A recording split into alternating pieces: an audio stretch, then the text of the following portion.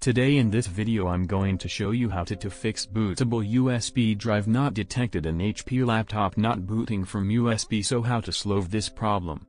First turn on the laptop to go to the boot menu immediately press F9 key repeatedly. Your bootable pen drive is not showing in boot menu follow me to fix the problem if you cannot select the USB flash drive from the boot menu disable secure boot. To fix this go to BIOS settings to go BIOS you need to go to BIOS setup by pressing F10 then go to the boot options bar menu.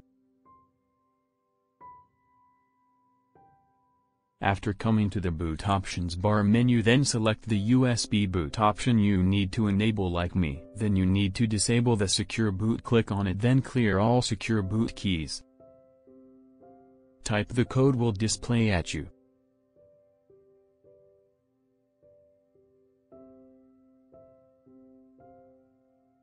Save the BIOS setting by pressing F10.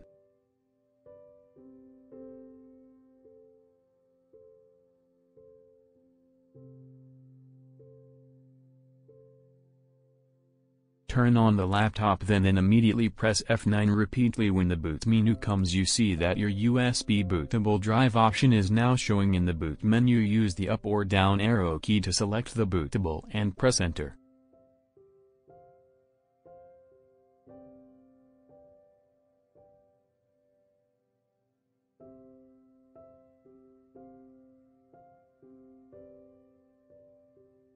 Thanks for watching don't forget to like and subscribe.